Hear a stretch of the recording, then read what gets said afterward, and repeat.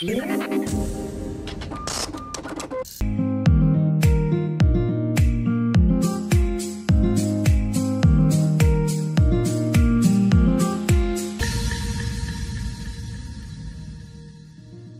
próximo 29 de octubre se realizarán elecciones locales en Colombia.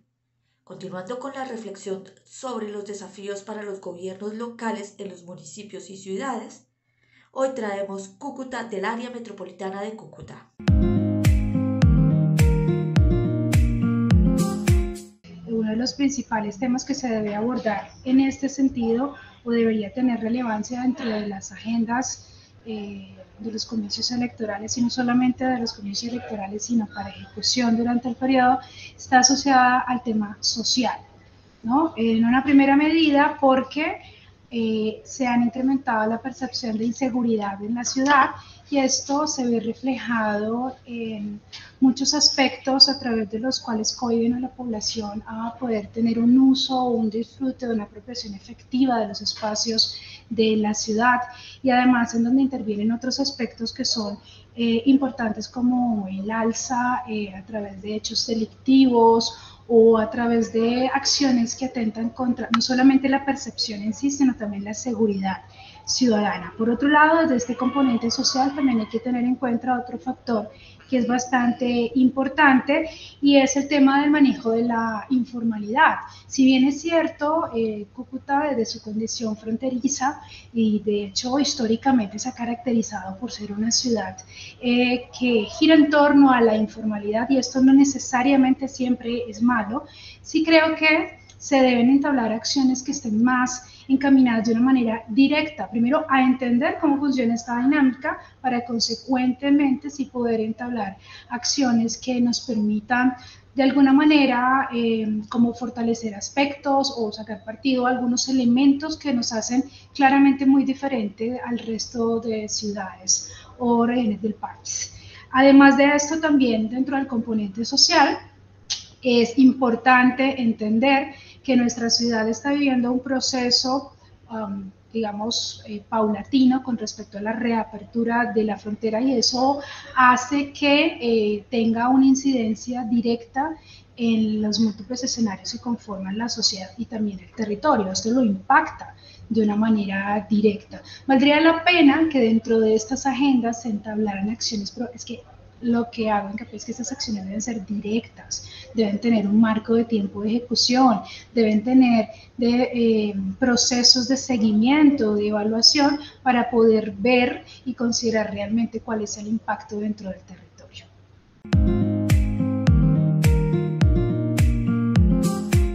Aún estamos viviendo una época post-pandémica no podemos obviar el hecho de que por dos años o un poco más, muchos de los procesos desde las diferentes esferas que proponen la, la, sociedad, es decir, lo económico, lo cultural, eh, lo político, lo administrativo, lo social, se vieron pausados o de algunos lugares también se vieron que tuvieron que parar. Esto ha hecho que haya una acumulación de actividades que se vienen recapitulando, a las cuales se vienen sumando las que diariamente eh, también deben enfrentarse los territorios. ¿Qué sucede? Que, por ejemplo, en materia de ordenamiento territorial para Cúcuta específicamente, es supremamente importante que las administraciones locales empiecen a entendernos eh, como una ciudad intermedia que debe propender por un ordenamiento territorial integral, es decir, que Cúcuta actúe eh, ya con muchísima más fuerza como ese núcleo articulado con su área metropolitana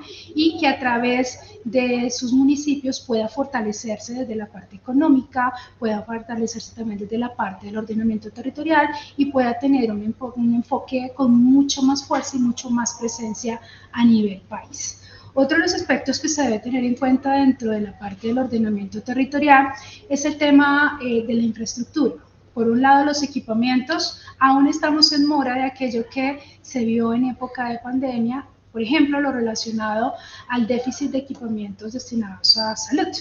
Esto no aplica solamente para nuestra ciudad, sino para todas las del país, pero en este momento pues hago hincapié específicamente en la ciudad de San José de Cuba. Sumado al anterior, tenemos una problemática muy grande que entendemos pues se vio mucho más fortalecida por la época de la pandemia, pero tiene que ver con el mantenimiento vial.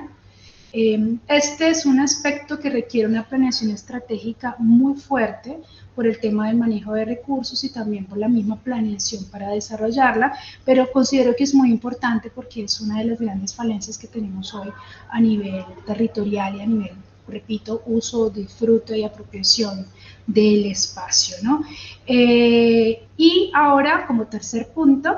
eh, creo que uno de los eh, aspectos que también debe tratarse dentro de esta agenda está asociado al componente ambiental, la recuperación de las rondas de río, de las cuencas hídricas, em, no solamente a nivel de obras, sino también de conciencia ciudadana. Creo que es una tarea que no debe faltar nunca en ninguna administración, eh, teniendo en cuenta que, por ejemplo, en nuestro caso particular tenemos dos afluentes, dos cuencas hídricas importantes que sumado al hecho de todo lo que tiene que ver con el cambio climático, los, los cambios de temperatura, el hecho de que Cúcuta es bimodal, es decir, tenemos con muchísima fuerza el tema de, de,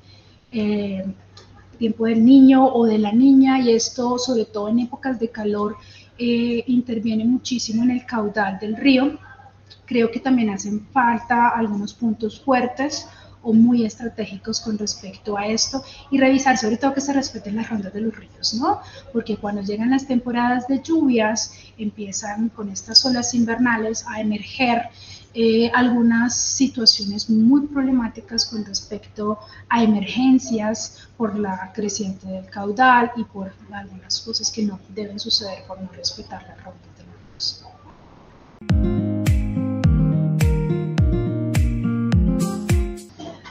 grandes retos que tiene la administración o las administraciones eh, para la ciudad de San José de Cúcuta es recuperar la confianza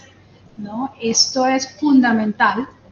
eh, que los ciudadanos sientan confianza con respecto a su administración local, que sientan que se está haciendo el papel, que se está desarrollando todo el proceso, que, y esto no aplica solamente a la administración actual, sino a las, a las anteriores. Es un proceso que creo que estamos en mora a nivel país realmente, pero pues que nuestra condición, debido a nuestra posición geográfica, a ser una ciudad intermedia y a los múltiples factores que se desarrollan dentro de la ciudad de Cúcuta, es bien importante y va a ser uno de los grandes retos para los próximos gobernantes de nuestra ciudad.